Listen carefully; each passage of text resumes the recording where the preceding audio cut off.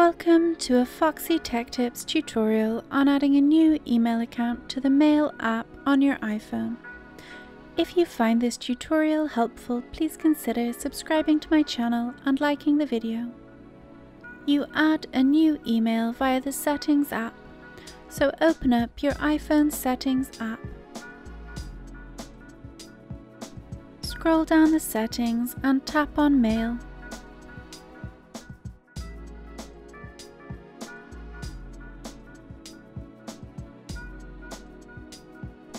In the Mail settings, tap on Accounts, then tap on Add Account.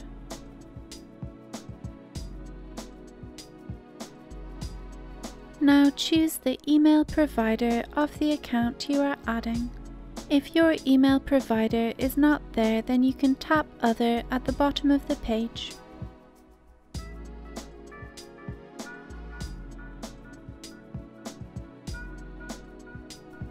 On the next page, type your email address or create a new one and then tap Next. Fill in your password and then tap Next.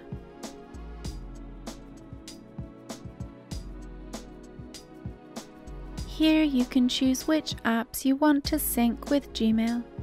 Make sure you leave the toggle on for the Mail app.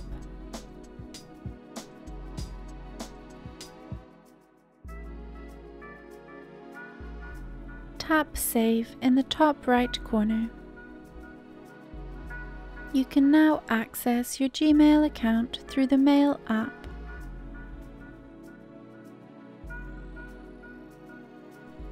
And that draws an end to this tutorial.